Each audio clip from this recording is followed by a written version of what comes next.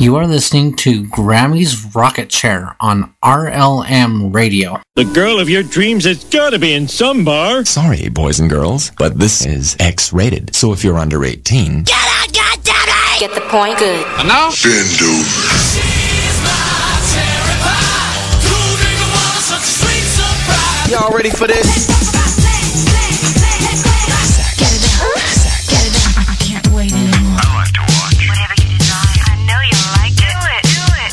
We do it all night long. And now, your host, Grammy. Woohoo! Yeah, when you're hot, you're hot. And oh my lord, it was nice this morning. What the hell? You'd think it's frickin' summer or something. Jeez, oh Pete. Y'all are listening to Grammy's Rocket Chair here on RealLibertyMedia.com, Channel 3, and it's rather blustery and warm out here in Grammy Land. And uh, it's supposed to get a lot hotter. Hot, hot, hotter tomorrow. and not in a fun way. 102 is what they're saying for my temp tomorrow. Damn, I be running a fever. I got a fever.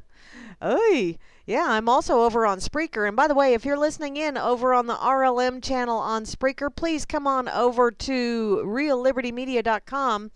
Join the chat. Think of a nickname. Give me some static because I, I don't have good enough internet to have that many chat rooms going. And oh, Lord, I got a lot of tabs open already. I could be in trouble. Okay, so over here on Twitter, thank you, Barman, for treating me out treating me out, tweeting me out. I truly do appreciate it, hon. Yes, I am live and in person, or in person, or I'm I'm I'm in something, um something. In any case, uh yeah, thanks, barman, and I gained a couple more stalkers. Woohoo! Although I think I've, one of them ran away really quick once they started checking out some of the shit that I post, cause I'm all over the place when I post stuff you know, it, it's it's just one of them there things where it's like, uh, I like this, and I like this, and I like oh oh oh, and Robert De Niro, man, he is catching all kind of static lately, dropping f bombs like crazy. Robert De Niro, how dare you? Shame, shame, shame. Okay, uh, let's see what. Oh, let's see. I gotta I gotta grab this one here too. In any case, let's see. Over here on this FN side, who's over here on this FN side? I see Java, Java, Java, Java, Java Doctor is over here. I also see Grimner. Thank you, Grimmy, for sharing me. Once again, you the bomb, you the man, you the big kaboom. That's all there is to it. Damn it. I also see Bobby is over here. And uh, late in, yeah. Oh, and guess what? Robert De Niro got caught using a prostitution ring that specializes in children. Oops. That's on Neon Nettle. Hmm, I'm not real sure. Hmm, not real sure about that site. Wouldn't put it past him. But, you know, just because it specializes in children doesn't necessarily mean that he knows that it does and that he requested them. I haven't read the article, I just read the headline. Although I do think, yeah, hmm, he's one of them wishy-washy people, you know, because first it was, you know, anti-vax, and then it was not anti-vax, and then it was anti-this, and then it was not anti-this, and then it was like, really, dude, get off the frickin' fence. You're becoming a pain in your own ass, let alone the asses of everyone else. Okay, let's see. I got two more. Woohoo! Woohoo! Okay over here on Facebook. Tessa got six day timeout over on Twitter. And you know why? Because she said that she thinks politicians should be publicly hung for treason. you go, Tessa. That's just too funny. Yeah. She's just she's just too funny. I love you, Tessa. You're so cool. You just flat ass say it. Okay. Uh, let's see. Who else is over here on Fakey Book? Not really a whole heck of a lot of anybody. It's been very slow on Fakey Book lately. I think I'm getting shadow banned, is what I think. I think that I post things and nobody sees them. Huh. Imagine that. Okay, over here on Minds. Hello, Minds. If you don't mind, it don't matter. That's called Mind Over Matter. Um, and thank you, RLM, for sharing it over there. I did not get to your page to see it yet, but I know you always do. Rascal, honey, I love you, but when you reach up, no claws, okay? 'Cause claws hurt, especially on the neck. I know. I have to scold my kitty cat. She's on my lap. Ow! She's so loving, and yet, ow! Uh, oh, cool. Okay, ouch. Dang cat. Let's see. That's mine. That's Facebook. That's that's frickin' wrong. That's oh good God. I'm scrolling. Can you tell? Offended? I'm sorry. Not. okay. Facebook, Twitter, Effin site, Minds. Ah, Informed Planet. I haven't been to Informed Planet for a while, and Circle sent me a link. Hi, everybody over on Informed Planet. I've been checking them out today, and actually, I've been really enjoying the stuff posted over there a lot more than I have Minds. But you know, mm, that's just me. That's just me. Okay, is that all of the social sites that I need to be getting to? I think so. Oh. De Niro, De Niro, De Niro. You're dropping lots of F bombs instead of De Niro. Okay, what? Um. Ah, cool beans, Frumpy. I know, Grim. Everybody else says it too. Um, treating me to a tweeting. Who, baby? Hey, I see a bubbler going on too. Okay. Let's see. Oh, hey, Beetle. I see you're. Don't be throwing nothing, hun, because you'll have to pay for it later. Okay, let me see. Where am I at? Where am I at? Oh, yeah. Okay. Never mind. Those chains, those chains. Ow, ow kitty. I got it. I had to click on the link. But who will build the roads? Domino's, motherfucker. you know why? Because pizza pizza. That's why. Damn it. I think they need to get Jimmy John's involved in that too, so they can be crazy fast just as well. There you go, Grim. Okay, over here on the RLM, which is where you need to be if you want to give me static. Or say hey, or anything else. I know I don't really care for Domino's pizza. I don't like Papa John's pizza all that well either. Um, I like my brother David's pizza. I've gotten kind of spoiled. And you know, Casey's pizza isn't too bad. But in any case, over here in the RLM, right up top, I see Barman, the most splendiferous bot in the whole wide world, closely followed by Grimner, who is the RLM god, and the voice on multiple sites. Multiple multiple. I also see the lovely Moose Girl is logged in, but I happen to know she went grocery shopping. I did that before I got on the radio because I had to go in town and help my Uncle Tommy. We're sorting. Oh my God, we're sorting. yeah, every Wednesday we do about two to three hours worth of sorting because he's he just you know he had a hard time trying to get going um, on on going through grandpa's stuff because he would start, you know, reminiscing and then he would feel bad because grandpa thought enough to save this stuff. And then, you know, Uncle Tommy was just to um, oh, there you go, Grim. Jimmy Johns can build bridges. All right. But Uncle Tom was having a hard time getting rid of a lot of the wonderful little treasures that Grandpa saved. Grandpa grew up, well, pre Depression. My mom was born uh, well, yeah, it was during his formative years. In any case, use it, reuse it, take the working parts and make something else and use it some more. That was Grandpa's motto.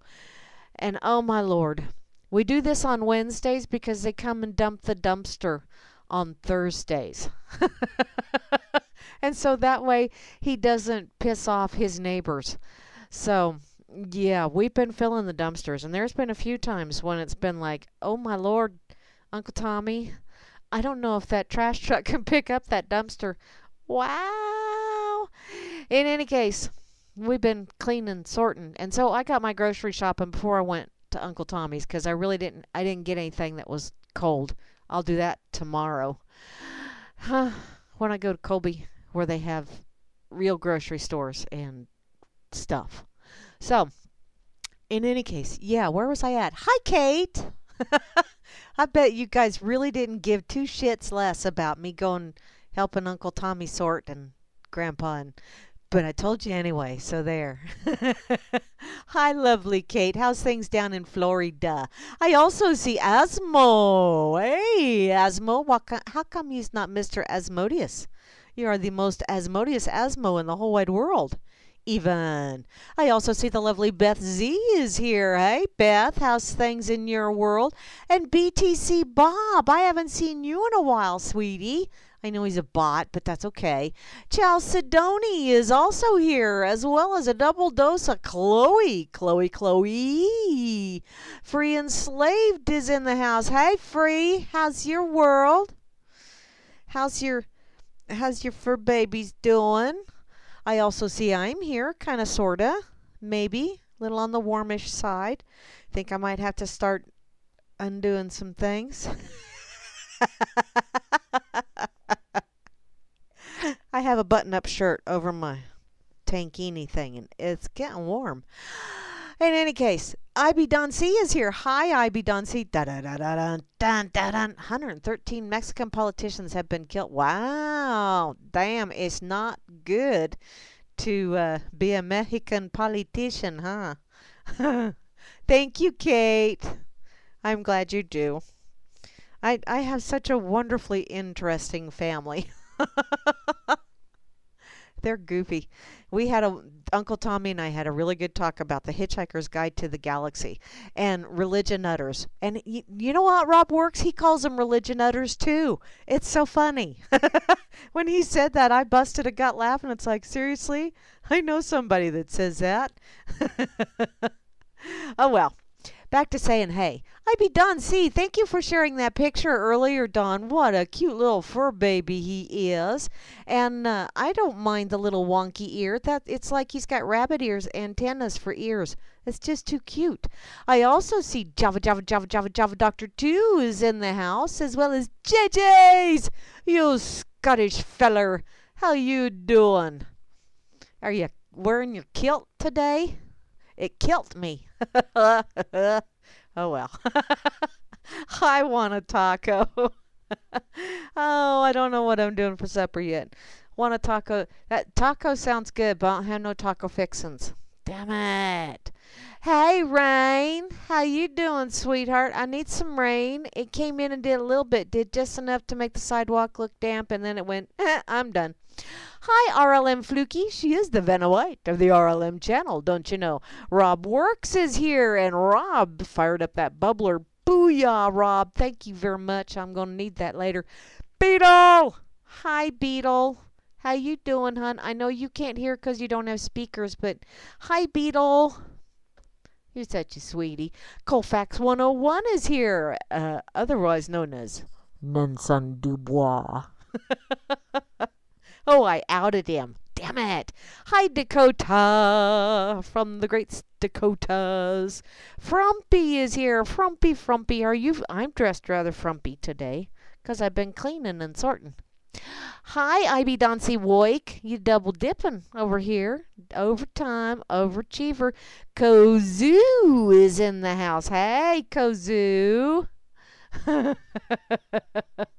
That's true, Rob Works. And you know, I told Uncle Tommy that um I said I think it's just absolutely crazy that that someone has to have someone else with an old book that was written thousands of years ago. They have to have that person tell them if they're moral or if they're right or if they're compassionate.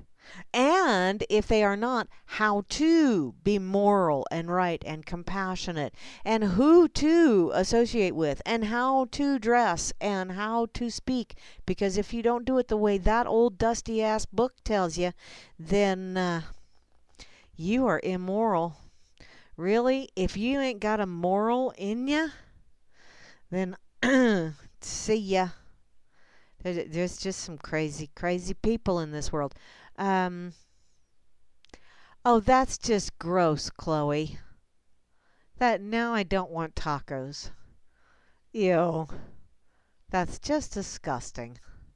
Pfui Divel.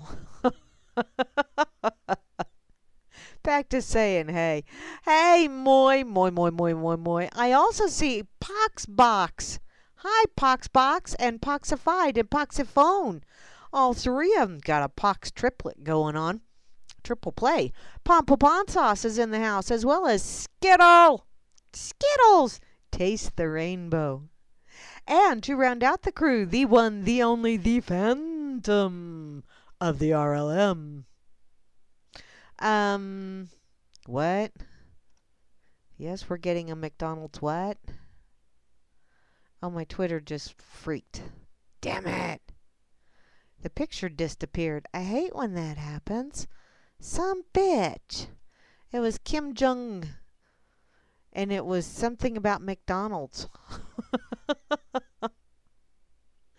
Ooh, did you see that there was something about there was a string? Oh, I know it was on Anti Media because I will go there here in just a little bit. Um, yes, flasher, flasher, flasher. okay, let's see. United States doesn't have a federal law banning cannibalism. Idaho is the only state in which the simple act of eating human flesh can land you in prison. Eek. Well, Grimmy, I don't know if it was a fresh leg or if it was his last leg. okay, it's the last spare one. God, that was a bad joke. Okay. So I just saw this over on Twitter, and so I clicked on it, and it's like, hey, you know, seeing as how I'm being weird anyway, let's get some really weirdness going on. I'm gonna go ahead and close because yeah, they keep showing Trump, and that that's just disturbing just like when they kept showing Dangleberry. It was really disturbing. I can't, ugh, my eyes are going, stop it! In any case, from worldtruth.tv, strange beams of light are seen all around the world. Now, see, there on the on anti-media, there is an article about um, a strange. Let's see. There it is. Looks like an ascending missile object spotted over Seattle raises questions, which I I I may get to that later. But first, but first, let's go with this one. So, most of these beams of, of light shot up from the clouds as if a battery or gigantic searchlights are searching the landscape and are identical to a vertical band of light, like the famous beam of light emanating from the peak of uh, Kukulkan, Kukulkan Pyramid, photographed by Hector Salazar, July the 24th of 2009, while on vacation in Mexico. Oh, that would have been cool to see. Wow. What's going on? It's them aliens, I tell you. It seems unlikely that these beams are just natural phenomenon, camera malfunction, or a digital cam glitch, which that does seem highly unlikely, but huh. Could it be that the sun's solar radiation interacts deep within the Earth's magnetic field, adhering to the planet's magnetic lines? And what we see as a beam of light are, in fact, the ionized particles charged from the sun's solar wind. Or is there something going on? We wonder, is there something going on here? Something seems very fishy to me. There are images here um, that are, well, one of them is taken at sunrise during a flight from San Francisco to Phoenix on August 15th of 2015 or August is that the 15th? No, August 17th. Um Okay. And at first glance, a beautiful image of a sunrise, but then there's something strange in the image. At first you see the sun emit a streak of light which ends up in a cycle, like a wormhole or a portal. Then below the circle, um, a yellow unknown object, and there is an unknown object that can be seen straight above the sun. Oh? There's lots and lots of pictures here. I probably ought to just go ahead and share this for you guys so that you can look at the pictures while I'm reading this because this is really kind of cool. Kind of cool. Oh, not his last leg. It's only a flesh wound. Come back, you sissy. It's only a flesh wound. Where's that from? Monty Python. I know. Spoiler alert. My grandkids love that movie, by the way. Okay, back to this article. The witness stated that he was sitting in the last seat on the aircraft with camera pointed towards the tail away from the wings, and that a pilot who had sat beside him also couldn't explain the strange objects as shown in the image. MUFON case 69495 yeah 495 eh, has and there's a link to the image. Now, the unknown object above the sun is a second sun or a UFO that uses the sun as a portal, and the yellow object is its scout ship. Is it? The yellow object is not a sun flare or a reflection of the camera, as sun flares slash reflections are looking quite different. And there are images to show you the difference. And so, is it a coincidence that all of these beams and strange objects near the sun become visible in the same period? And is it that alien races are responsible for the strange lights in the sky? Are they stabilizing the Earth with these beams as Nibiru slash Planet X is closing in? Is it all holographic bullshit trying to get people prepared for aliens? that really aren't there. Oh, I just threw that in. Yeah, the largest beams are photographed in Fort Myers, Florida on August 15th at 2015 and Civitavecchia, Italy on August 10th of 2015. Huh. And that one was right the one in Italy was right beside a waterspout. Sweet. And there's a video attached to it. There's some really cool, cool. What? Dolphins are. Oh, that's not good. That's not good. If you scroll down far enough, you, there's a link to an article Dolphins are dying all over the world. I don't want that to happen. I like dolphins. Maybe the reason they're dying is because they're getting ready to leave us. So long and thanks for all the fish, kind of thing. Never know. Or Maybe the leeches that be realize that the dolphins are way smarter than them and they're just waiting, they're biding their time for the leeches that be to just eliminate this pest of humanity from the planet so the dolphins can feel safe again. Maybe that's what, because yeah, the frickin' Navy uses them to carry bombs and all kind of nasty ass shit. It's like, god dang. Seriously? assholes. You want a bomb delivered to someone, deliver it yourself. Okay. Now that I got this shared over on the effin site. Effin. Let's see. Um, dum dum. Where's I at? Okay, I got to click on this dolphins thing.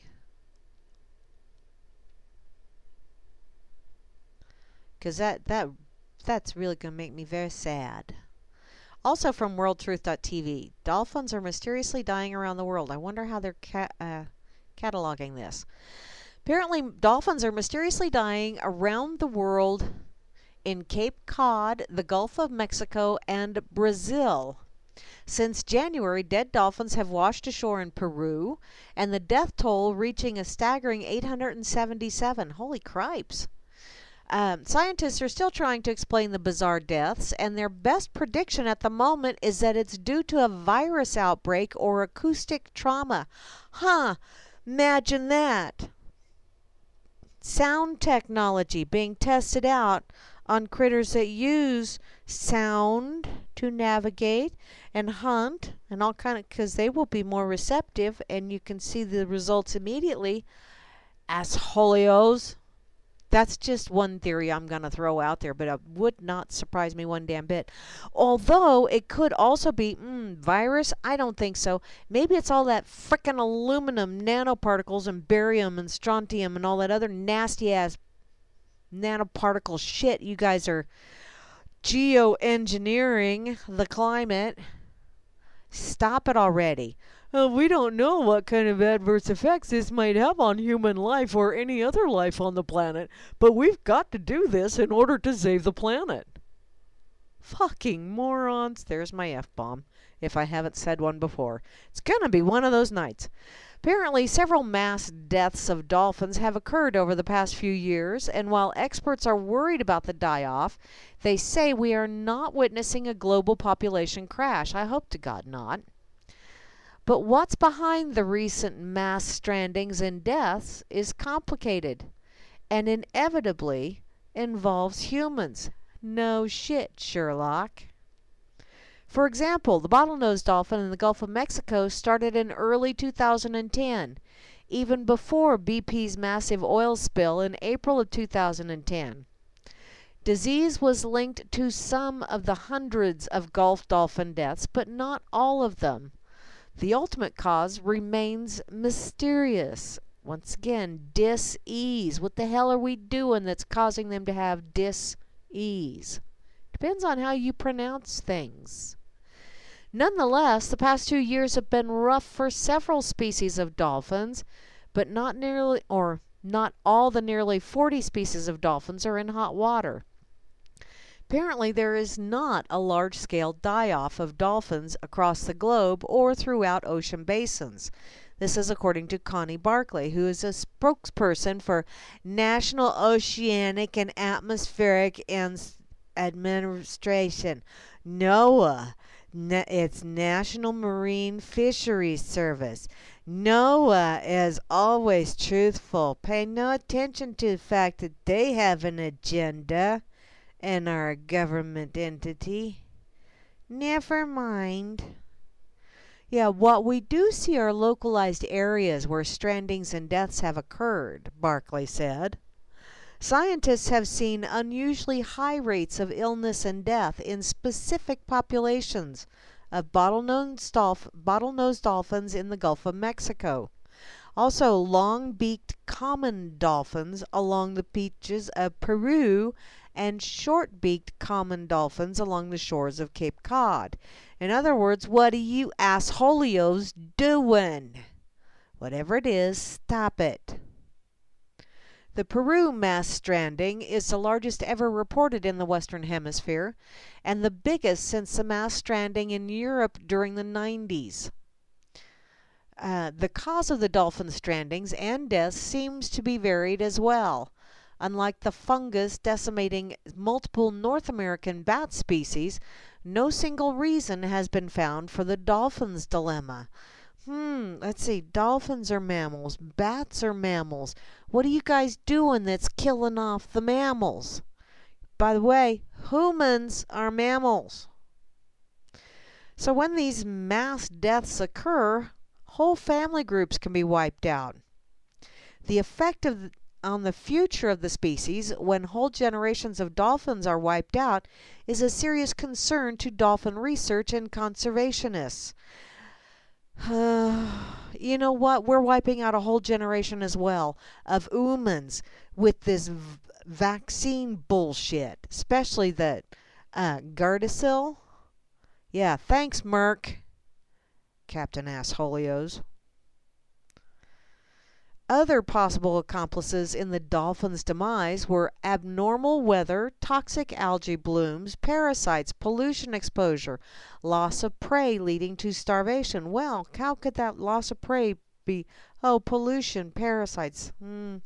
Disorientation due to loud noises from ships, and oil exploration and physical injury.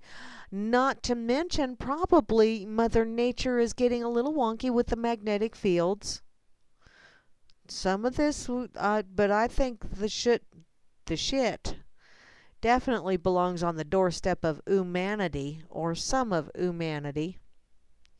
In many cases, the cause of strandings is unknown and difficult to discern, says Barclay. A lot of times, strandings, from what I understand, is because of magnetic ley lines, because a lot of times they follow magnetic ley lines. Just going from what I have read. I am not a specialist. So, what isn't in doubt is that human impacts on the ocean are hurting dolphins around the world. Ding, ding, ding. People should recognize that dolphins need the waters to survive, that we are visitors in their homes, said Wells. And as visitors, we should be good stewards and respect the needs of these animals as they try to make a living in the aquatic environment. They are not making a living, you moron. They are living. Stop equating our frickin' psycho babble bullshit on every other animal. Wolves don't have to go out and make a living. Sorry, honey. Gotta go out to work today. Uh, dolphins don't do it. Penguins don't do it. They don't do the stupid shit we do. We were the only ones stupid enough to fall for that crap. Oh, you want to live? Well, you're going to have to go out and make one. Really? Hmm. Everyday choices can affect the fate of dolphins. Dolphin experts had some suggestions on how to lead a dolphin friendly life. So, no matter where you live, reducing pollution can help these animals, as chemicals such as PCBs can be transported by air for thousands of miles before being deposited into marine environments, as well as the lovely shit they're putting in the atmosphere that's raining down everywhere. Wells also warned against the illegal but popular practice of feeding wild dolphins. The practice brings dolphins closer to the dangers of being struck by boats or tangled in fishing lines and disrupts the animals' social groups. In other words, please don't feed the animals. They might become dependent and will no longer be able to survive on their own. You, we've been doing that to our own species for a long time, and you see how that's working out. Since January, dead dolphins have washed ashore in Peru, and the death toll reaching a staggering 877 so far. Scientists are still trying to explain the bizarre deaths, and their best prediction at the moment is that it's due to a virus outbreak or acoustic trauma. Acoustic trauma. Hmm. I'm thinking submarines, naval vessels, that kind of stuff. That would be rather traumatic. Y'all are dicking around with shit out there far away, but it's f- maybe far away from human observation, but not from the critters that live in the ocean. Environmental authorities are investigating the deaths of more than 800 dolphins that have washed up in the northern coast of Peru this year. Now, they may have died from an outbreak of morbillivirus or brucella bacteria, said the Peru- Peruvian Deputy Environmental Minister Gabriel Gabriel. I'm not butchering that last name. And according to Peru's state-run um, Andina News Agency. Now, speaking to CNN, oh, well, that makes it factual. He said he expects test results to be ready within the week. Mm-hmm. Right now, the most probable hypothesis is that it's a virus outbreak. But he did say Thursday that 877. Okay, how many times are you going to repeat that in this article? Seriously. More than 80% of these dolphins were found in an advanced state of decomposition, making it difficult to study their deaths, according to Andina.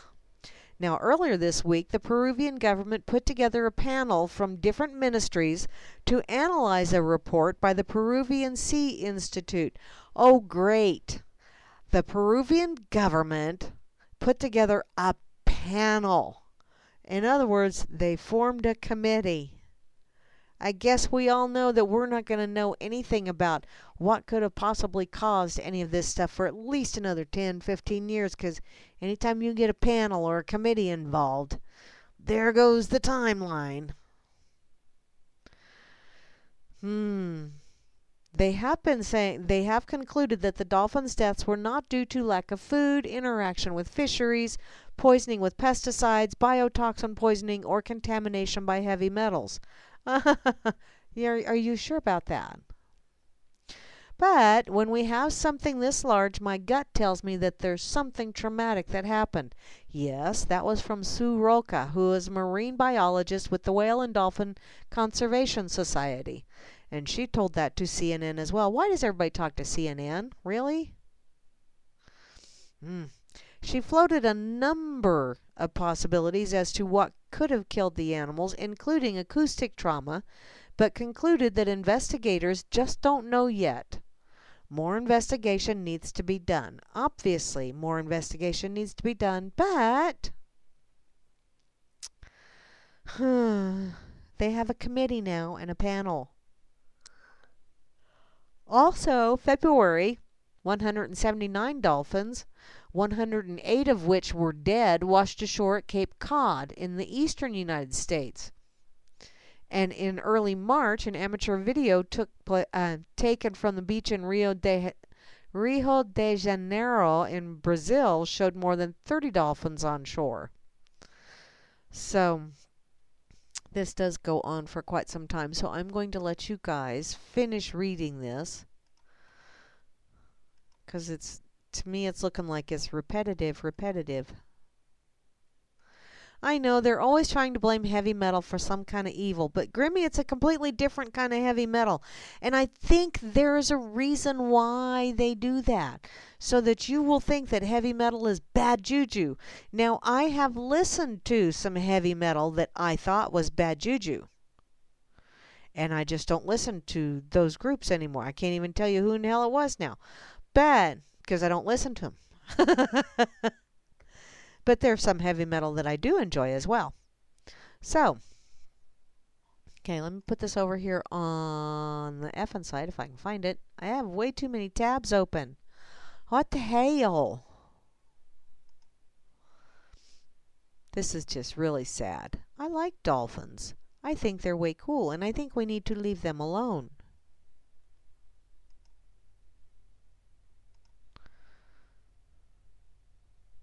Okay. Now, don't shoot the messenger. Okay. Don't be calling me Hansel. Bad. From FoxNews.com.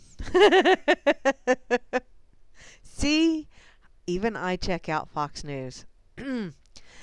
California's university website says it's okay for children to engage in sexual play and watch porn.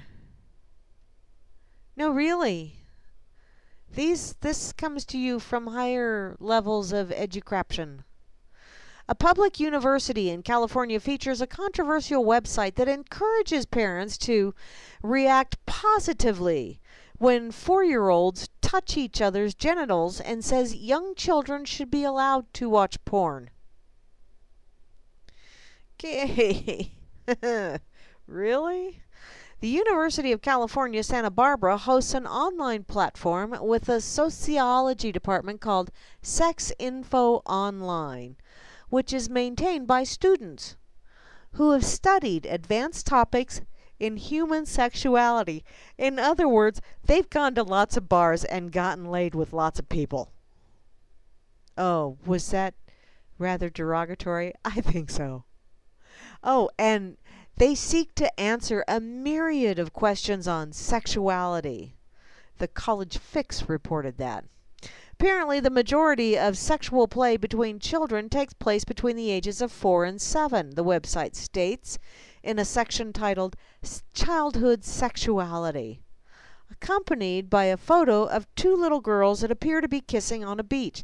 Okay, just because little ones are kissing doesn't mean that it's sexual. That's number one. Little ones do that. Little ones just go up and they give each other kisses. They also smack each other upside the head. They also pinch each other. They also pull each other's hair. Not all of that is sexual. Not, none of it is sexual. Only you are reading that into it, you moron. Yes. I think it does make it kitty porn, Grim. I think it does. Oh, what's that? Uh, ooh, okay. Back to this. So, um, okay, childhood sexuality. And it's accompanied by, okay, yada, yada, yada, yada. Now, children might display affection to their friends by hugging and kissing or touching each other's genitals, which is perfectly normal. Most little ones do not go around touching each other's genitals. Now, now that I've said that, I will say that siblings have a tendency, especially with younger siblings, to go, especially if they are of a different gender. I I had younger siblings that would go, "What's that?" You know, I have grandchildren that basically did the same thing. Children are curious. That doesn't mean it's sexual. Now, parents should not react in a negative way because children are just exploring. Yes, children are just exploring. Children are curious. But let's don't be morons about this, okay? It also adds that parents should intervene only if the acts are non consensual or hurtful. wow. okay. In the section titled Talking to Your Children About Sex, parents are encouraged to let their children watch pornography. wow. Seriously. It's important that children understand that viewing pornography is a normal habit and that they should not need to be ashamed of it. UCSB, yeah, it should be UCBS students wrote that. And I'm sorry, I think y'all know pretty much my stand on pornography. I don't need to watch that shit to number one, get ideas. Number two, I have a very fertile imagination. Number three, um, it's like, why watch someone else getting some if you ain't getting some? That's just, and besides the fact that it's a very exploitative process, not just for the females, but also for the males. Yeah, most men are going, yeah, baby, anything. But the porn industry is not a pretty industry. And all they're doing is going for the quick fix. That little ha ha moment. You know, and to get you drawn into it and to get you to cheapen your values. So me, no, porno- viewing pornography is not a normal habit. But they are trying to make it so. If you watch porn, that is your business. But don't be, mm, ah, don't be doing this shit to kids. Freaking sick pervies. Apparently, parents were angered um, after Planned Parenthood partner leads graphic sex ed lesson in science class. The article tells parents how to have the talk with their kids. Children and teens do not want to be told what to do, especially when it comes to personal topics such as sex, the website states. It is important that parents do not lecture their children, but instead try to present information and have an open discussion about sex. Adolescents will make their own decisions regarding sex, and it is up to the parents to give them the information and resources needed to make informed decisions. It is up to the parents to answer questions with just as much information as will what will satisfy the curiosity at the moment at that age level. Period. Period. When children are ready, they will ask more detailed questions. Speaking as a parent who has been through this with two daughters and had some of those questions to field with grandchildren as well. Apparently, the school's Department of Psychology or Sociology chair declined to comment, and the university did not immediately respond to a request for comment. Well, have your little ones watch porn. Really? Only in California. Good God. Ah. I think they just need to. I think my mother was right. My mother was right. Mother said that they need to do like five nukes along the San Andreas fault line and just watch it go off into the ocean. Sadly, the winds will blow inward, but eh, it'll get Nevada. Been there, done that, not all that impressed. Might nail Arizona. Mm, not real impressed with Arizona either. Some parts are cool, but most are hot. Um, yeah. No. California just needs to fall off into the ocean. Freaking crazy ass people out there. Okay, get this over here on effing site real quick. Talk about the devil. Okay. Let's see, where do I want to go first? Um. Mm-hmm. How about I go to antimedia dot com. 12 tips to understanding the world and why it is the way it is. By the way, it is working just as designed. So, this is from Caitlin Johnstone. She, it's from today, and it is her opinion.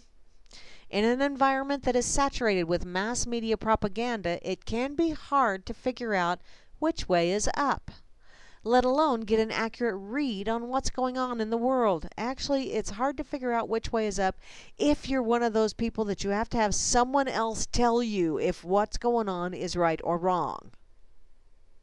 If you have that inner compass, you really don't need someone else telling you, whoa, wait a minute, I know you think that that's wrong, but really it's right. It's for the greater good. No, it's not. So, here are a few tips that I've learned which have given me a lot of clarity in seeing through the haze of spin and confusion. Take it, taken separately, they don't tell you a lot, but taken together, they paint a very useful picture of the world and why it is the way it is. Number one, it's always ultimately about acquiring power. Yeah. So, in the quest to understand why governments move in such irrational ways, why expensive, senseless wars are fought while homeless people die of exposure on the streets, why mil- millionaires and billionaires get richer and richer while everyone else struggles to pay the rent why we destroy the ecosystem that we depend on for survival, why one elected official tends to advance more or less the same harmful policies and agendas as his or her predecessor. People, people often come up with explanations which don't really hold water. Now, the most common of these is probably the notion that all of these problems are due to the malignant influence of one or two mainstream political parties. And if the other party could just get in control of the situation, all of the problems would just go away. Now, other explanations include the belief that humans are just intrinsically awful, blaming minorities like Jews or immigrants, blaming racism and white supremacy, or going all the way down wild and twisted rabbit holes into theories about reptilian secret societies and baby eating pedophile cabals. Those, I don't doubt those. Rep, by the way, the reptilian secret society, that's because they're working letting their reptilian mind control them. My beliefs, not necessarily what's actually going on, but the reptilian brain is the base brain. That's the fight or flight reaction. That's the one that is always paranoid. Always.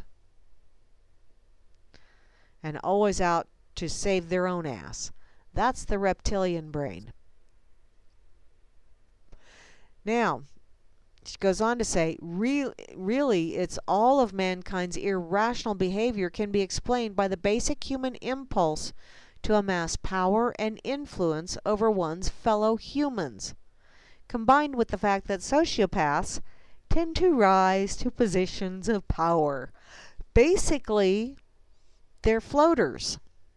You can flush and flush and flush, but until you go and get a five gallon bucket full of water and flush and dump that bucket at the same time, you ain't going to get those floaters go down the damn sewer. Just saying. So, our evolutionary ancestors were pack animals, and the ability to rise in social standing in one's pack determined crucial matters like whether one's uh, got first or last dibs on food or got to reproduce. Now, this impulse to rise in our pack is hardwired deeply into our evolutionary heritage. But when left unchecked due to a lack of empathy, and when expla- expanded into the globe spanning 7.6 billion human pack we now find ourselves in, due to ease of transportation and communication, it can lead to individuals who keep amassing more and more power until they wield immense influence over entire clusters of nations.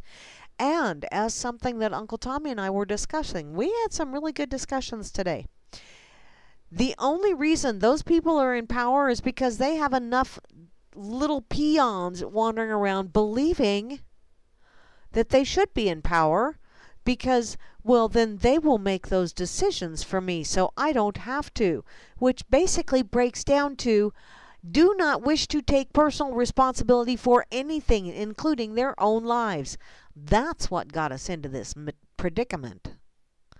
Too many people would much rather oh, I'll just abdicate my personal responsibility and any kind of rights and privileges that go along with it so that that guy will be responsible for me and I don't have to worry about it. Idiots. Number two, money rewards soci- uh, sociopathy. Yeah, it does. Floaters. The willingness to do anything to get ahead, to claw your way to the top, to betray whomever you need to, to throw anyone under the bus, to step on anyone, to pass them in the rat race. By the way, they are rats. And they're racing. Step back. Let them run each other over. It will be rewarded in our current system. Being willing to underpay employees, cheat the legal system, and influence legislators will be rewarded exponentially more. People with a sense of empathy are often unwilling to do such things, whereas sociopaths and psychopaths are. About 4% of the population are sociopaths, and about 1% are psychopaths, with some 5 to 15% falling somewhere along the borderline. The less empathy you have, the further you are willing to go, and the further up the ladder you can climb. But that's only if people allow it. If everyone else allows this to happen, well, you know, he's he's what? No, no. He shits just like the rest of us. He's human. Don't put up with that shit. Number three, wealth kills empathy. I don't know about that. I know some people that are very well to do, that are very, very empathic, very, very considerate, and they work their asses off to get where they're at. But as a whole, I can see where this stereotype would fit. So, if it weren't bad enough, studies have shown that controlling large amounts of money or large amounts of wealth actually destroys one's sense of compassion for one's fellow man. When you're able to use wealth to obtain everything from security to loyalty to personal relationships, You no longer have to be turned in to the brain or tuned into the brain's empathy center the rest of humanity depends on to get an accurate reading on what's going on with people we're surrounded by. And see, to me, that shows the lack of morality and lack of honor and and lack of self-worth of those that you surround yourself with. If you can buy people like that, buy their loyalty, buy yourself into relationships, man, them other people must not think very well of themselves. That's just my thoughts.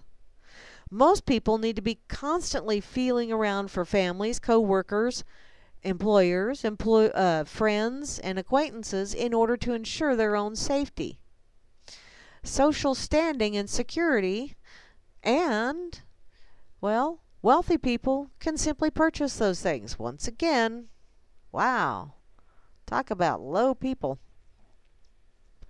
Both the payers and the takers.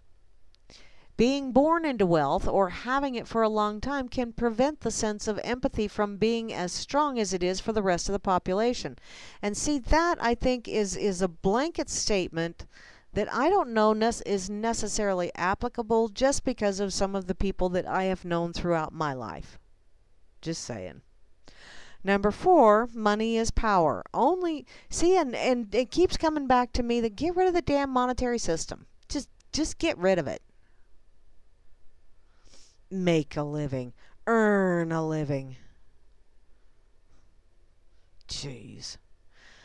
A 2014 Princeton study showed that ordinary Americans have essentially zero influence over their nation's policy and behavior, regardless of how they vote.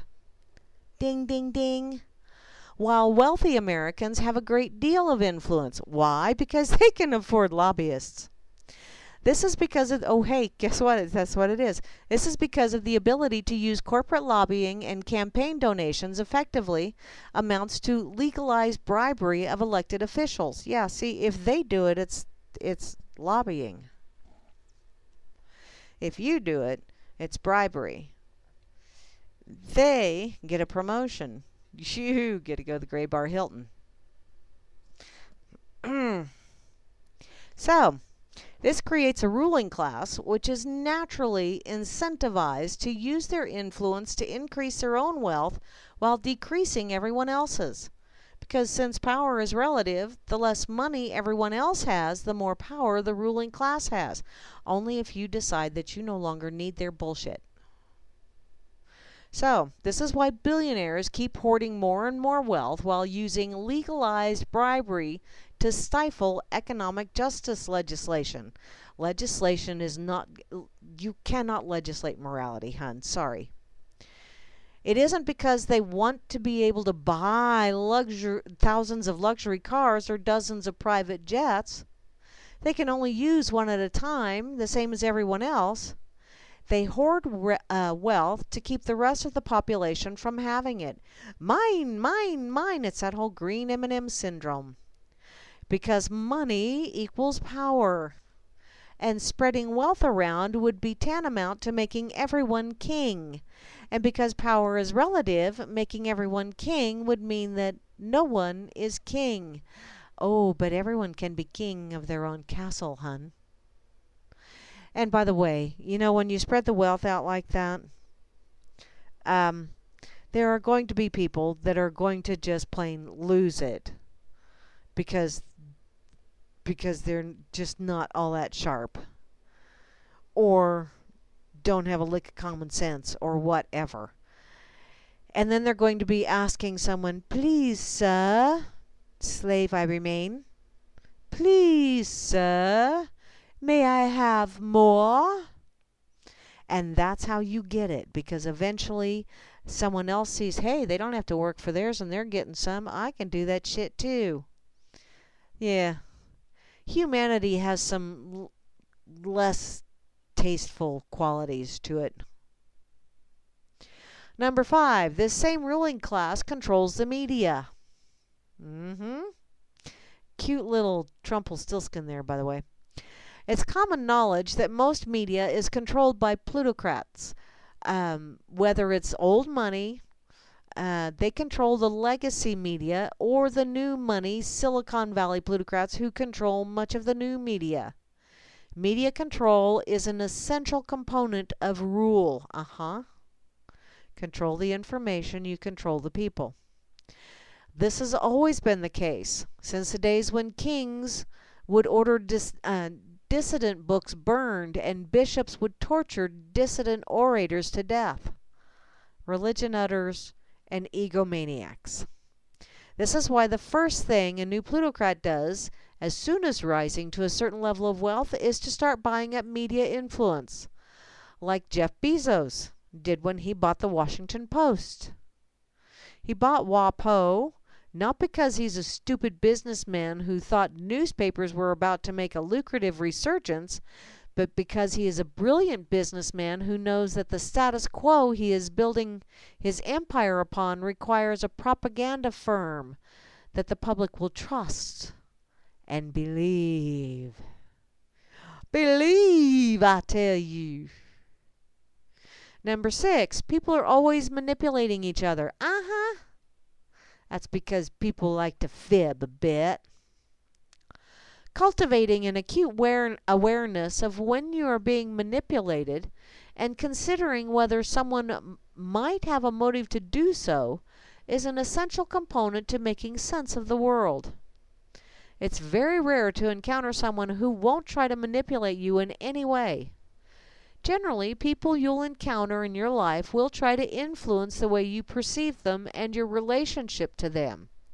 And they'll try to pull you in some ways and push you in others. Try to hook you up to their personal agendas and goals and shape you in a way that fits their shape.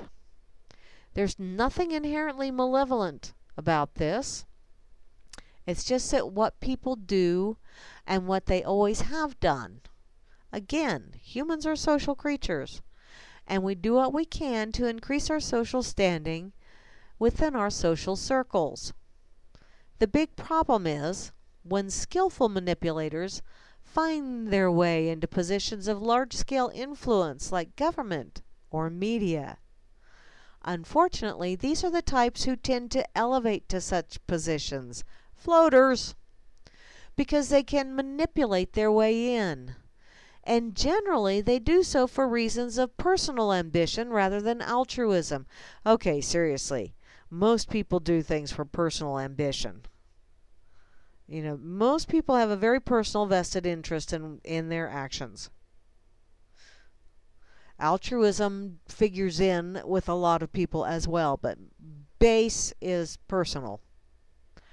These skillful manipulators form an essential echelon of the ruling class's loyal servants and are the minds behind the pro establishment narratives you'll suddenly see circulated from think tanks to media platforms to the essential lackeys on Capitol Hill. Yes, people are very social critters. but the bullshit meter has been broken in most of them. And I think fluoridation of the water has an awful lot to do with that. It's been going on for how many decades now?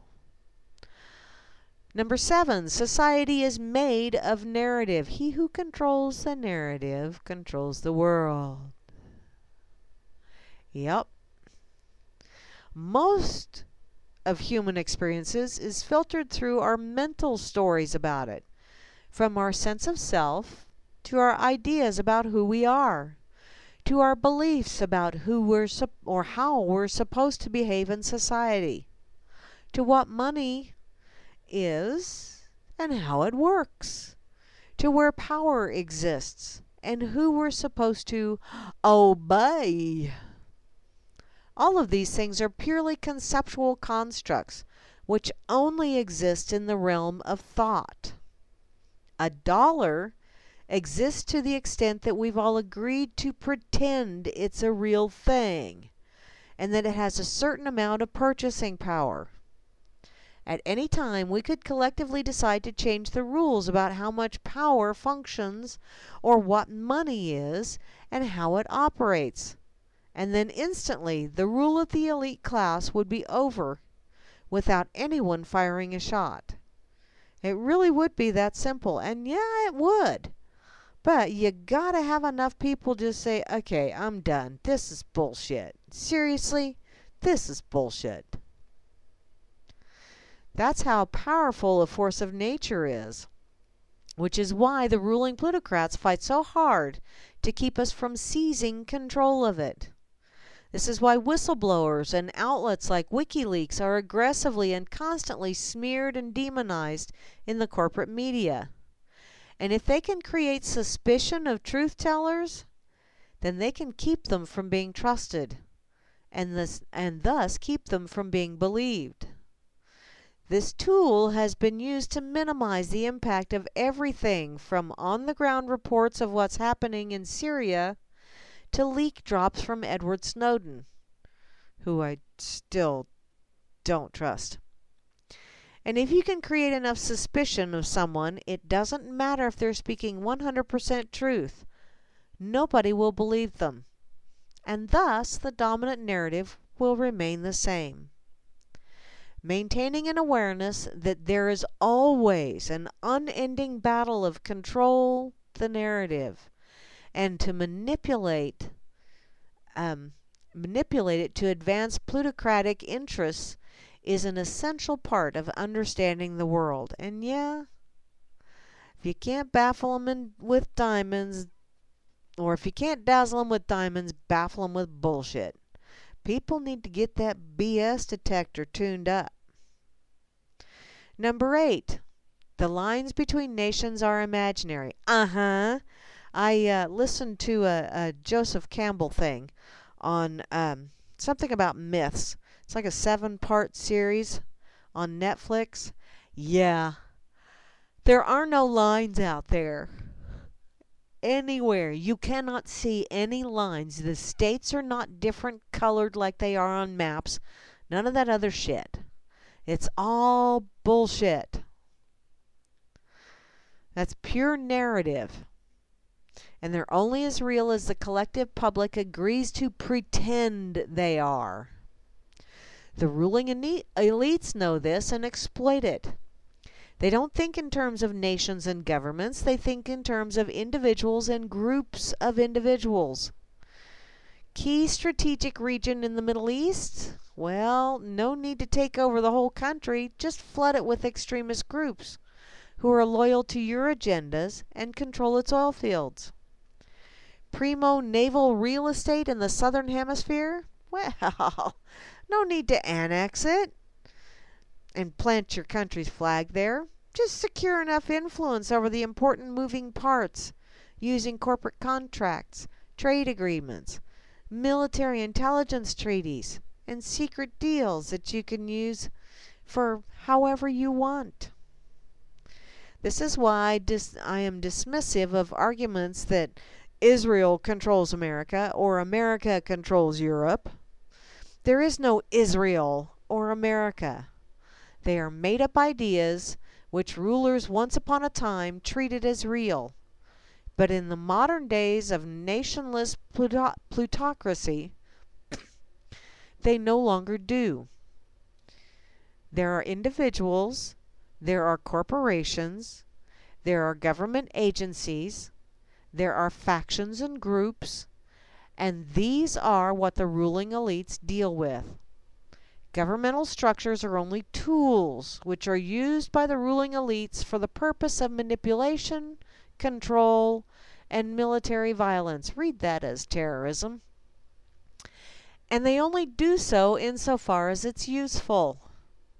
The idea of real nations and governments is a cutesy fairy tale sold to the masses so they won't see the manipulations. Look behind the curtain, hun. that guy's a shyster. Number nine. Powerful forces. Oh, excuse me. Wow. Powerful forces are naturally incentivized to collaborate with each other toward mutual interests. Mm-hmm. So, you can be a low grade millionaire and still live like a relatively normal civilian. But once you start ob- obtaining giant amounts of wealth uh, or wealth control, you need to start collaborating with existing power structures, or they'll snuff you out to prevent you from rocking their boat.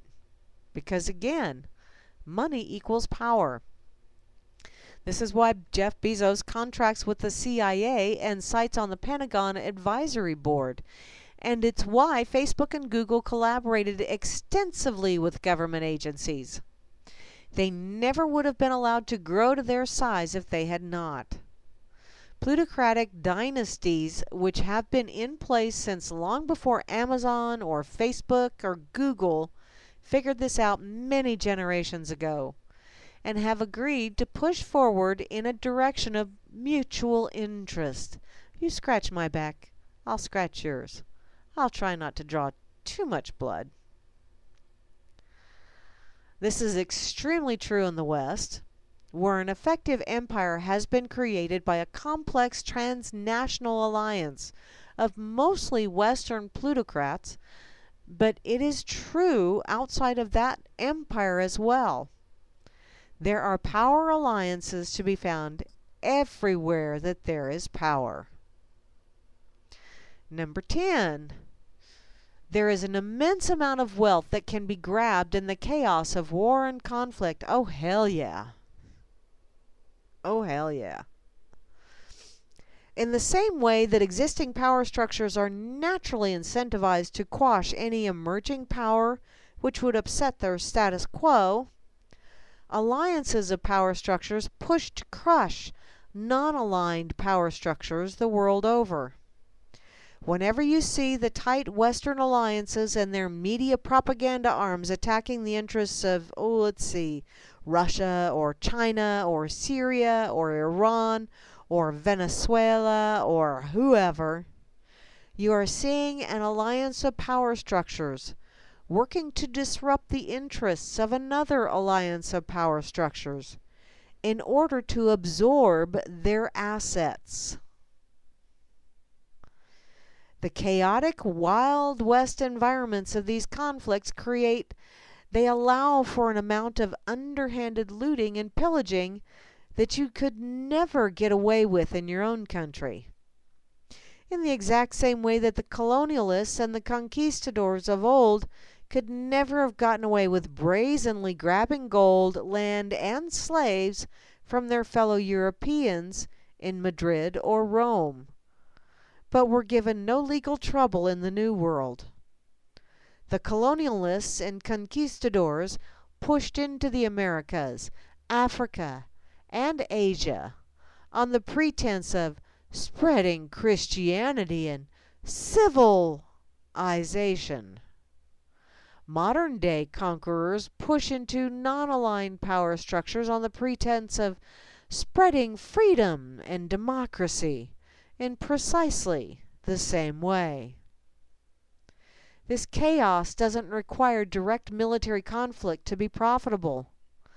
The uncritical enmity against Russia that the Western plut- uh, plutocratic alliance has manufactured with its media control has allowed them to be blamed for everything, from incriminating WikiLeaks documents to a corporate raid by Ukrainian oligarchs, without any questions asked. Anyone who has ever had to deal personally with a sociopath knows how much they love to exploit the gray areas of chaotic situations they've given them. What is that? Never let a good crisis go to waste. And geopolitical conflicts create those situations in spades. Number 11. The neocons are always wrong. Wrong, wrong, wrong, wrong, wrong. This one's really easy. If you ever want to be on the right side of history for a foreign policy debate, look at what Bish, Bish, Bush era PNAC neocons like John Bolton and Bill Kristol are saying about it. Talk about opposite positions. Neocon thought leaders have been loudly and catastrophically wrong about everything since the turn of the century. From Afghanistan to Iraq to Libya to Syria. And they're not about to start being right now. And finally, number 12. The push towards truth always starts with yourself. You can't out manipulate seasoned manipulators. The main error most people make when trying to deal with a sociopath is to try to manipulate them back. Don't even try. You know, it's like arguing with an idiot. Stop. You'll lose. And you'll become an idiot as well. He will win because he's been doing it for a while. And he's good at it. Um, they have years of experience on you because they literally have done nothing else. While you were laughing and crying and worrying and connecting and relating to people, they were working out how to play humans like Garry Kasparov worked out to play, how to play chess. And when you have literal teams of sociopaths collaborating together to amass power, you, my dear child, do not have a chance. So just don't play their game. You will lose.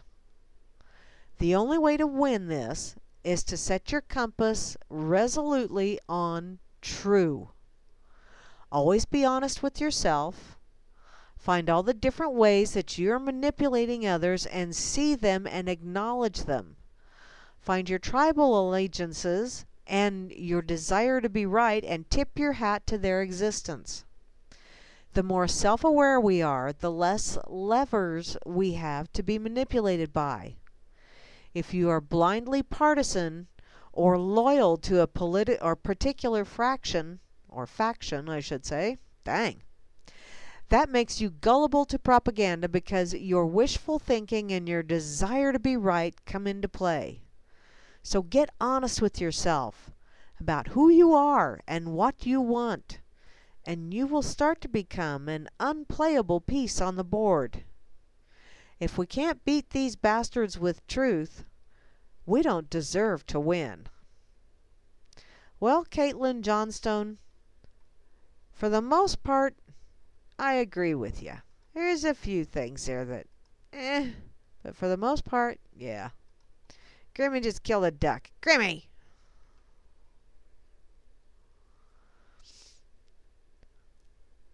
Oh. You know, he probably doesn't have a birth certificate because birth certificates for us peons.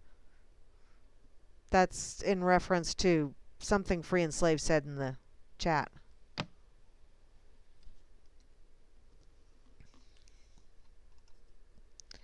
Okay, let me put this over here. On, uh, and you know what? I was caught up in that whole birth certificate shit too. God, I can still remember arguing like crazy. But he doesn't. He's not showing his birth certificate. What if he doesn't have one because he's not supposed to have one because he's one of those direct descendant kind of things, and they don't have to have birth certificates?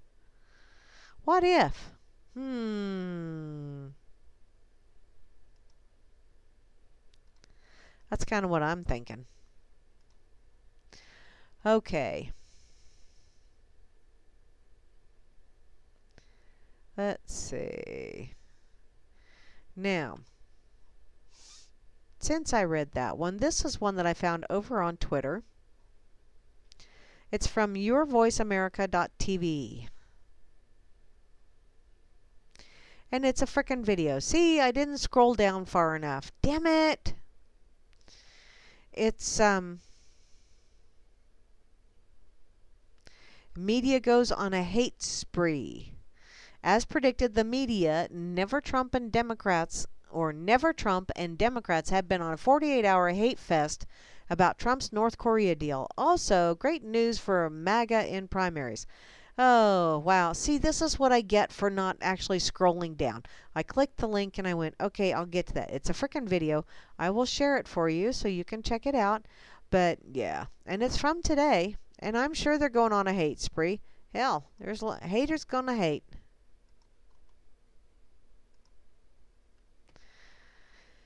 Killing ducks is your job, Grimmy? Do you eat any of them? Okay.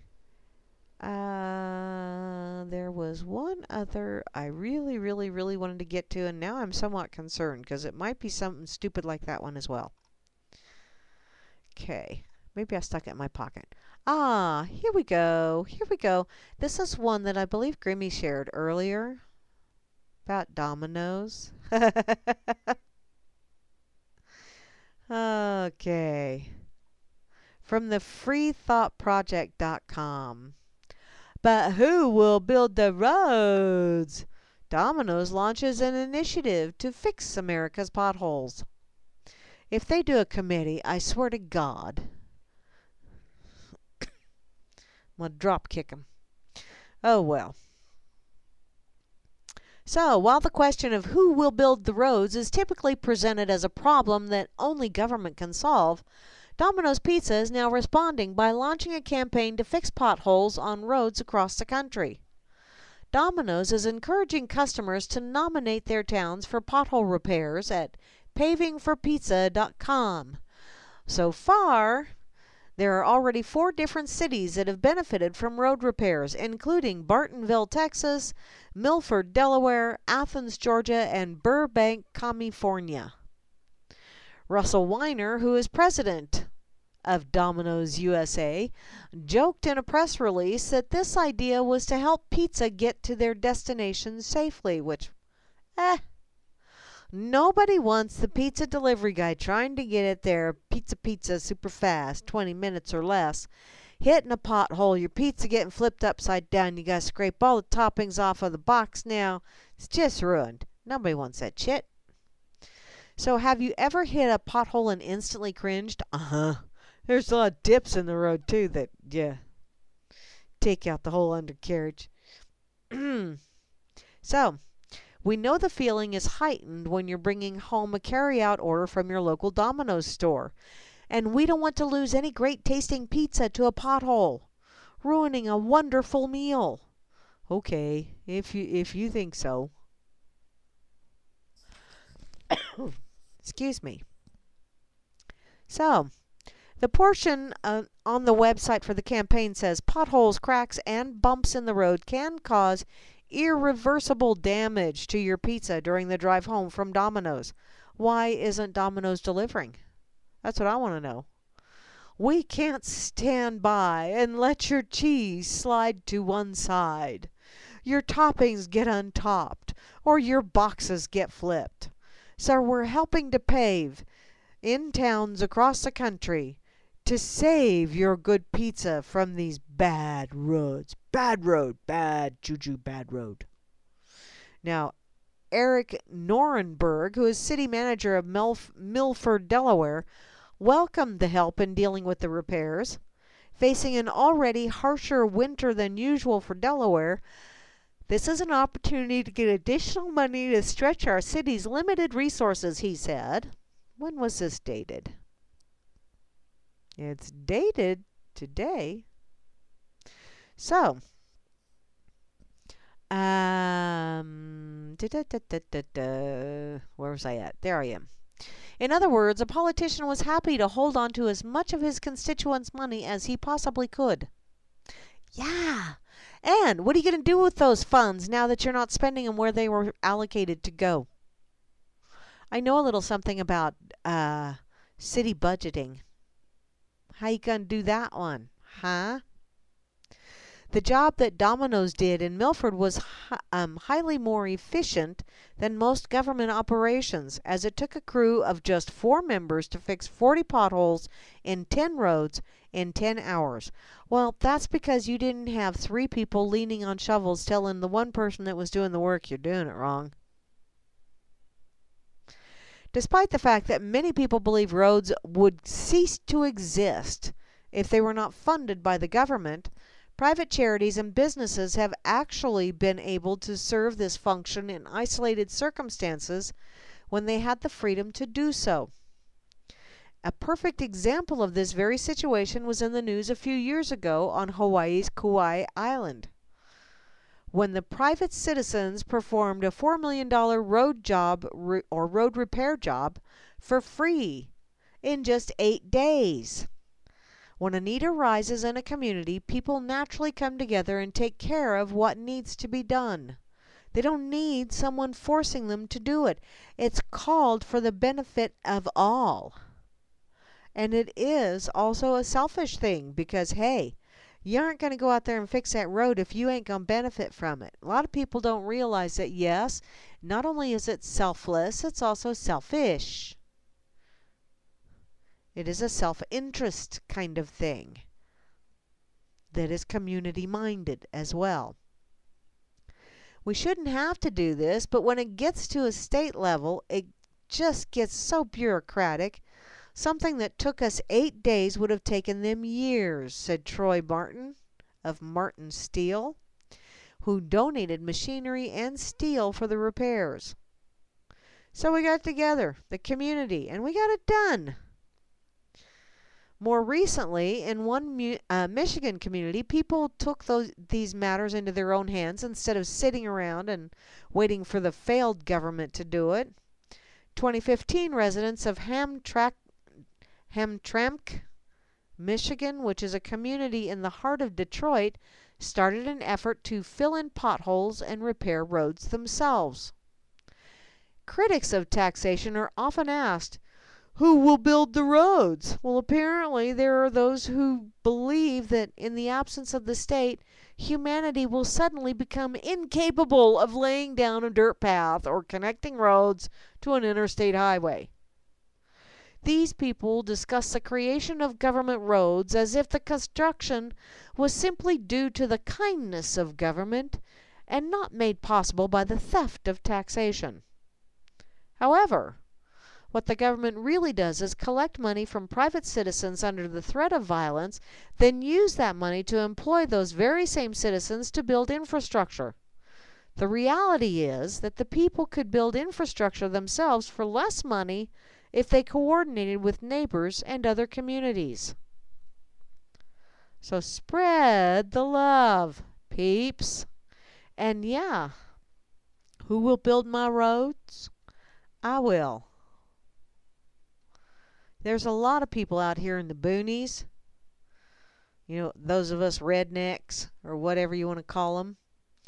That um, that's kind of what we do. Because the county ain't got the money for it anymore because well the county employees need a raise and they need better benefits and they need this and they need that and I I understand they want to be able to feed their families. I get that.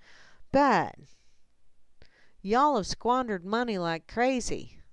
So we do this shit ourselves. I'd just as soon not pay any of it.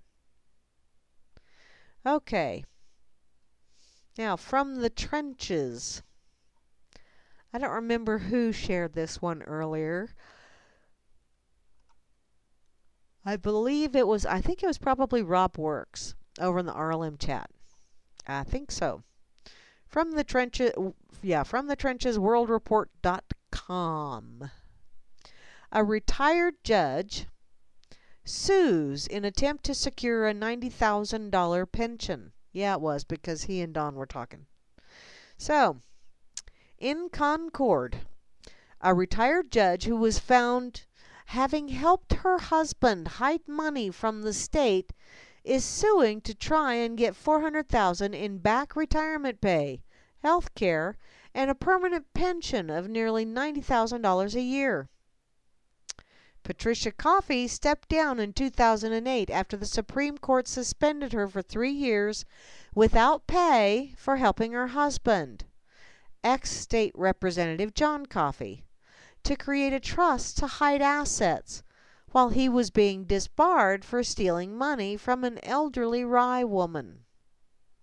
Now, the Board of Trustees of the New Hampshire Judicial Retirement Plan voted to deny her application for a pension in 2015. Hmm. Coffey, now 64, lives in California and maintains she's entitled to a pension equal to 70% of her highest average salary for having served the judicial bench for more than 16 years. She said the retirement law grants that pension to anyone who serves at least 15 years once they reach age 60. But the trustees said the law required Coffey to remain in the employment as a judge until she reached 60. Once she voluntarily stepped down, she forfeited those pension rights. The board's denial was incorrect, both as a matter of law and under the terms of the plan Coffey maintained in her lawsuit. Coffey's lawyer, Russell Hilliard, is representing her. And lawyers representing the judicial plan trustees now have 30 days to respond to this suit brought in the U.S. District Court. So, I did something wrong, and instead of being fired and possibly having criminal charges filed against me, I decided to go quietly and step down. But now that I'm in the latter years and living in California where it's really, really expensive to live, I'd like to have that money, so I'm going to sue your sorry ass. That's pretty much the way that's working out. Why should that woman get to reap rewards of her own crooked behavior? I don't think so. That's having your cake, eating it too, and then also shitting on everybody's plate after it's gone through the digestive process. No. No. No. Don't think so, toots. So, we'll just do that one. I don't know that I need to. Do I need to uh, do that one again? Over here? Sorry, something went wrong. Uh, Skittles? What the heck? What are you doing to that chair? Damn it. What that chair ever do to you? I'll put this over here again anyway. Okay. And I think I had one more in my pocket I wanted to get to before I go to um ouch. Before I go check out the pig. I do want to check out the pig. Now this is from madinamerica.com and it is from April of 2016. Ouch. So, madinamerica.com, psychiatric diagnosis is a fraud. The destructive and damaging fiction of biological diseases. This is by Robert Berezin, MD. Life is pain, princess. Anyone who tells you different is selling you something. That's from Dread Pirate Roberts in The Princess Bride, which I absolutely loved that movie. I really do. That it's just just a fun, fun movie.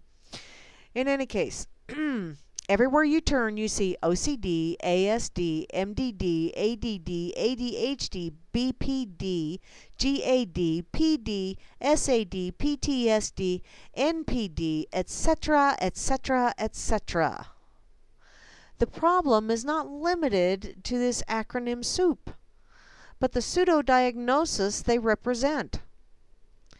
Patients today get stained by the specious medical diagnosis of biological psychiatry.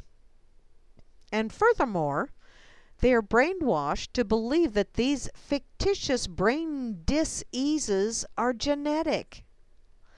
Biological psychiatry treats people like they are a mechanical object, renaming them almost as they are rebranding products. The one I like best is the renaming of manic depressive to bipolar. Instead of a name which accurately describes the state of suffering, it was turned into something mechanical, a battery with two poles. We've gone from something human to something Frankensteinian. But fear not.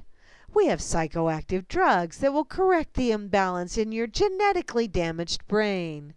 We have antidepressants for your depression, benzodiazepines for your anxiety, amphetamines for your ADHD, antipsychotics for your schizophrenia, antidepressants for your OCD, etc., etc., etc. Sadly, I have heard many stories from patients that began when they received their diagnosis. They were told they have a dis-ease and it's not your fault, they're told. It's genetic. For the lucky few, it may only take a few years to recover from their biological diagnosis is bogus. Then to find their way to good therapy and or continue on their journey.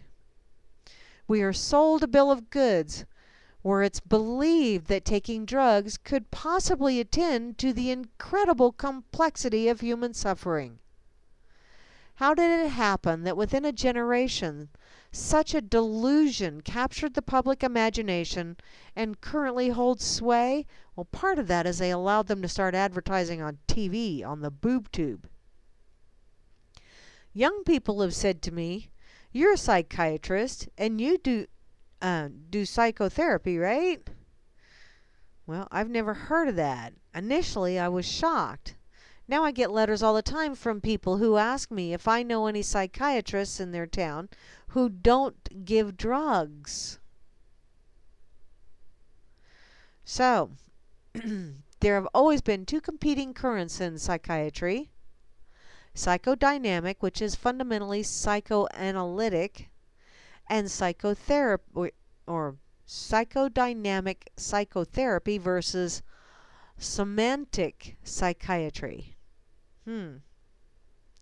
Now, there's only one, and for the full story of somatic psychiatry, see do not or do no harm the destructive history of pharmaceutical psychiatry and its bedfellows, electroshock, insulin shock, and lobotomies. Oh joy, oh bliss.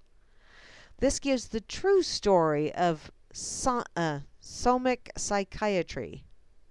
And its practice has been an act to act directly on our brains, shocking them, reaming them out with ice picks, and now reaming them out chemically. It has always done great harm, but its sordid history has gotten lost in the amnesia of time. But make no mistake, pharmaceutical psychiatry is the current incarnation of soma som somatic psychiatry, and we are doing harm all over again. So, regarding the psychoanalytic, there have been very many good therapists, illuminating writers like Fairbairn and Winnicott and Harry Stack Sullivan, as well as important understandings about attachment. And there are many excellent teachers. And don't get me wrong, there are plenty of problems due to faulty psychoanalytic theories, which interfere with responsiveness to our patients. Nevertheless, I'm suggesting a new paradigm in the psychotherapy tradition. The psychotherapy of character. It's a specialized form of human engagement that repairs the damage to one's personality by acting on the play of consciousness in the very way that it formed in the brain in the first place. It's an art and a science that bridges the old divide between psychotherapy and the brain. To put it simply, human struggle is purely a human problem. It's derived from the consequences of deprivation and abuse in our formative years, followed by additional struggles that result from our adaptations to the ongoing traumas of life. Psychotherapy promotes the recovery of a person's authentic being through genuine and trusted engagement with the therapist. Mourning the pain of this interplay heals our symptoms and our suffering. Now, the specious enterprise of healing brain diseases is based on a faulty understanding of neuroscience and the brain. The biological orientation has mistaken parts of the brain for the whole. Separate elements of the brain operate mechanically and are not the cause of psychiatric symptoms. The parts all work in concert to create the play of consciousness.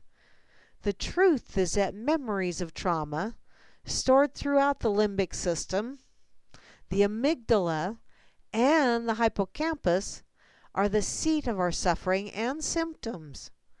The visible replay of the scenes in, a, in the play generate our symptoms, and our genetic temperament gives form to the symptoms. Phobias in a person or obsessions in another. And when the trauma is mourned, as when watching a tragic play, we undergo a catharsis. We sit with the pain, and the brain changes, all on its own. Psychiatry has always been a step a poor stepchild of medicine.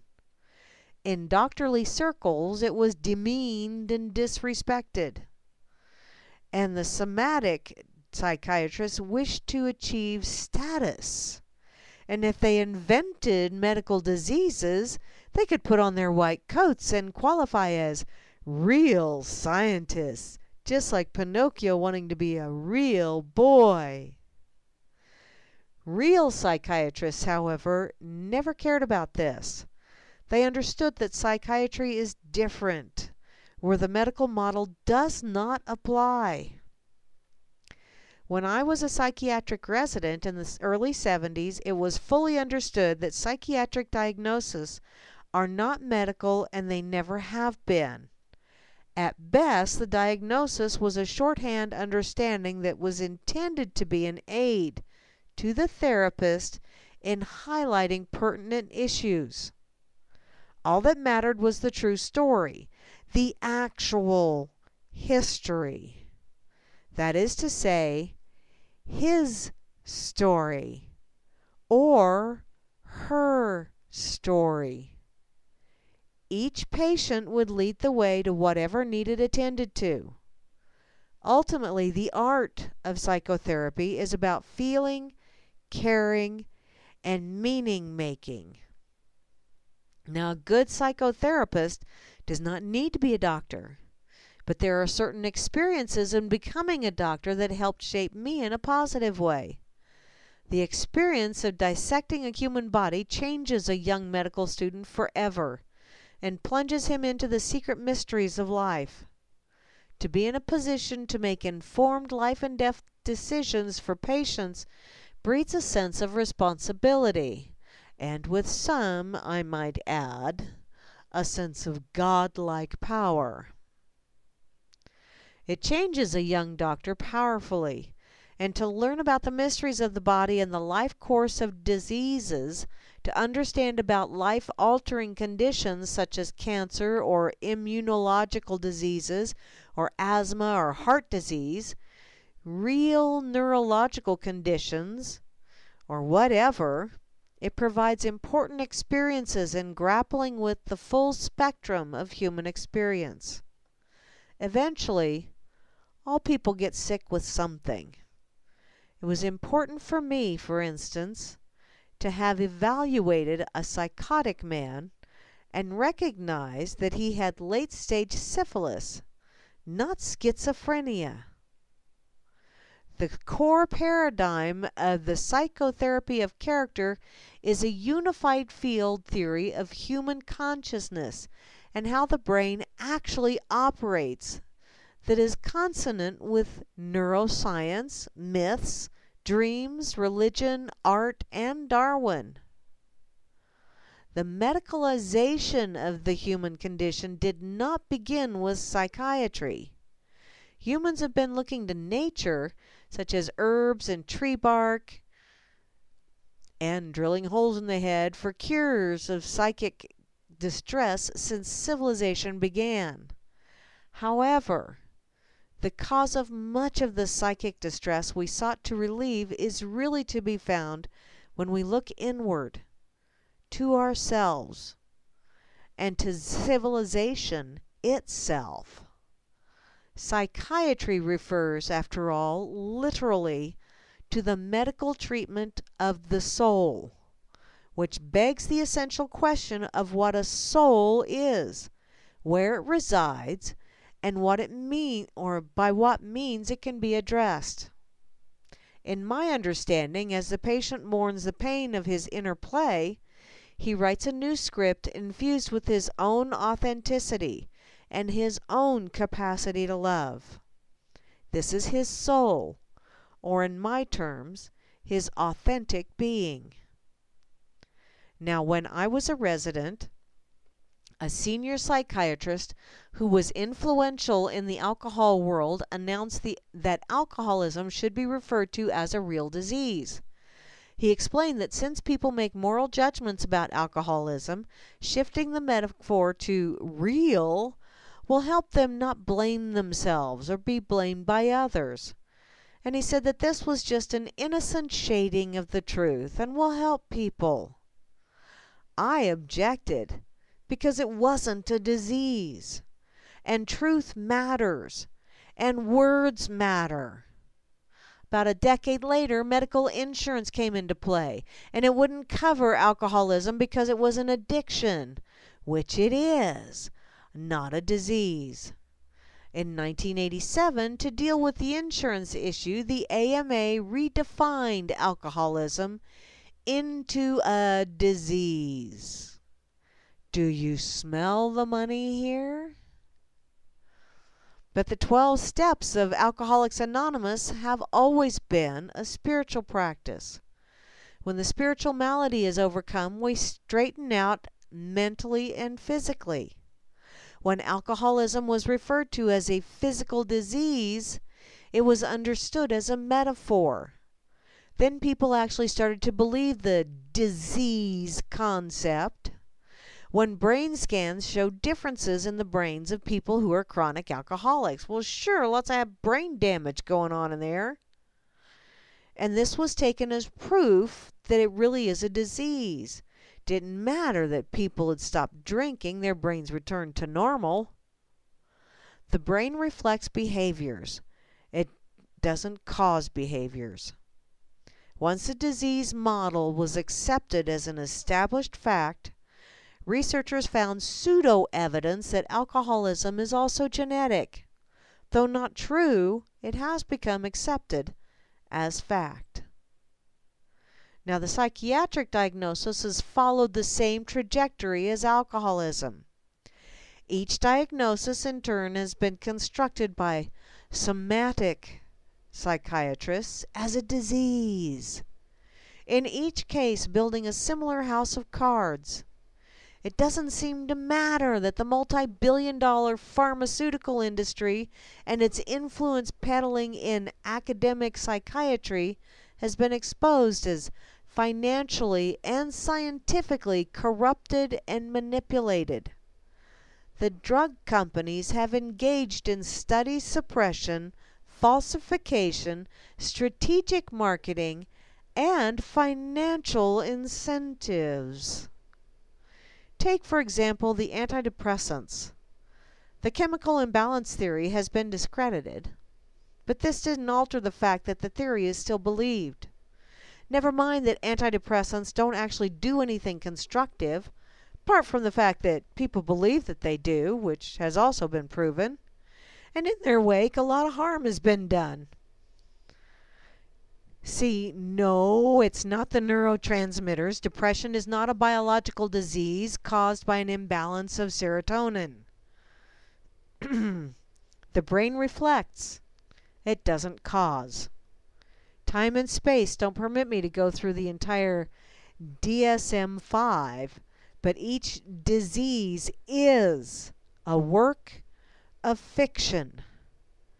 Brain scans showing thinned areas of the cortex in affected regions of the brain, which correlated to a symptom, are taken as proof of genetic disease. This cannot be so, or therapy would not magically reverse the thinning, as we know it does. A so called landmark study all over the press is that a gene related to eliminating connections between neurons in adolescence is the cause of schizophrenia. Since neurons are eliminated in an adolescence, the new theory is that an overactive gene variant is responsible. And this theory is believed. then taken as a major breakthrough. But it doesn't prove anything.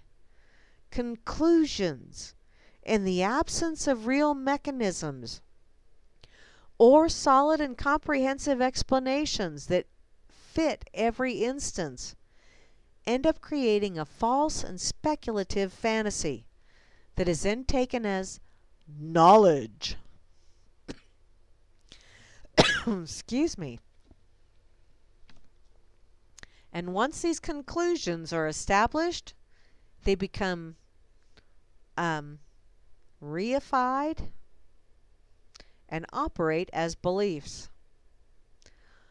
This is one or this one is already falsely established as it had been actually been proven that schizophrenia is biological. Evidence-based psychiatry is evidence in name only. There are two random yet typical examples that popped up on Google with the genetic discovery could lead to development of new bipolar meds. Oh yeah, cha-ching, cha-ching, follow the money. And the research indicates that abnormal variations of PDE10A19 might impact signaling of the C amp by engaging with another protein, restricting that protein's activity and its signaling. Once we understand how this protein helps neurons remain healthy, we might be able to develop medications to treat neurons when they function abnormally, such as in patients with bipolar, such as in patients with bipolar disorder and schizophrenia. These leaps are delusional. In addition, one study then uses a previous study as the fact and extends them, and there's nothing here but a house of cards. Now, this does go on for quite a ways, because this doctor, well, I guess maybe not quite a ways. Let me, let me see if I can. I scrolled down a bit and I found that there's just lots of comments at the end. So, there's also, how about this one? Biomarker could lead to early detection of women or in women of mental disorders. no, women are just crazy. It's just ask any guy, they'll tell you. A newly identified biomarker linked to mental illness in female psychiatric patients could lead the way for a simple blood test for improved interventions and treatments. This is according to eBiomedicine. Overproduction of X-ist has been found in female patients with mental illness such as bipolar disorder, major depressive disorder, and schizophrenia. Disorder. They are living in a world of disorder, and that's why they are depressed. Duh. And about half of the female patients had abnormally high levels of X-ist, that's X-I-S-T, by the way, and other genes related to the X chromosomes which could indicate that overproduction of X-ist and genes from the inactive X chromosome are common denominators in the development of psychiatric disorders in patients. In general, the population of female psychiatric patients. This study's already taken as fact that these three conditions are diseases in the first place. There has never been a study where these assumptions ever turned out to lead anywhere. We have to stem the tide of somatic psychiatry and bring sanity back to psychiatry. A recent article by Peter Kinderman, Mental Illness Mostly Caused by Life Events, Not Genetics, um, and argue psychologist challenges the waste of research money in England which has been based on the assumption that the cause of human struggle is biological. We need to do this in America and worldwide. Our understanding of human suffering needs to return to a legacy of caring and wisdom. Our children's futures and all our futures depend on it. Thank you, Doctor. That was somewhat wordy, but I am going to have to really quickly, I gotta go check out the pig because I want to see what happened this date in history. Yeah, I saw that the, the um, Bitcoin was getting a little wonky there on the Somebody's messing with things again. Anytime things starts doing that kind of shit, I always, of course, paranoid much? Nah, not me. Okay, really quickly. Um, word of the day, myth, a noun. It is a whopper that achieved a measure of legitimacy due to its popularity among the intellectually susceptible. Uh, don't know that I necessarily agree with that one, Hambo, but hey.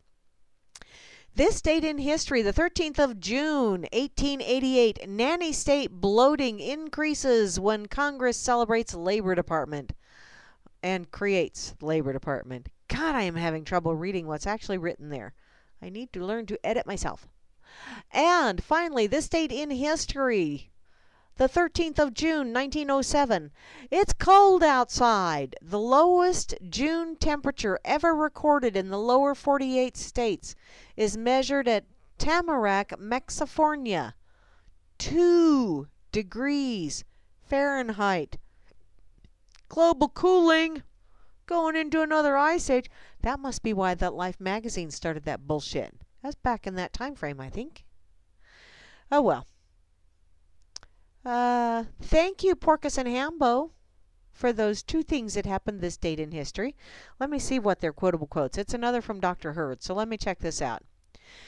People compliant or people compliment my articles in one of two ways. One, what a great article. Thank you for putting into words what I thought but could not say. And two, through calling me names without attempting to persuade me where I was wrong. Disgraceful, disgusting, shameful, insensitive, and of course the obligatory racist. Case in point, my article from two days ago stating the obvious that suicide is a choice. Thank you, haters. By showing that name calling is all you've got, you've essentially told me I have no reply to your points. I'm just really, really mad. Well, Dr. Hurd, you know, that's kind of the way life rolls. A lot of times, people that do not wish to have to take responsibility for their own actions, and yet they are special. They are very special. They will think that you are an egomaniacal asshole because you point out the elephant in the room, even though they've stepped in the shit and tracked it all over the house. They still refuse to see that elephant in the room. So you're a racist because you point it out. See how you are, you big old meanie poo poo head. So, y'all been listening to Grammy's Rocket Chair here on RealLibertyMedia.com, Channel 3. I know I've kind of gone far afield and kind of been weird tonight, but hey, what the hell. In any case, I will be back on Friday for the Freaker Friday edition of the Rocket Chair. But until then, y'all have an absolutely amazing rest of your wacka wacka wacka wacka wacka doodle Wednesday. I was going to go outside and do some work in the yard, but I look out the window and I see the wind is a blowing like crazy and clouds are moving in. So, guess I'm going to have time to work on my blog right away after all. So, I guess I will see you all on the funny papers, in the funny papers, on the flip side, however you want to put that. But please remember, I really do. No matter how snarky I get, I still love you. May not like you all the time, but I do still love you. And I wish you all enough. Good night.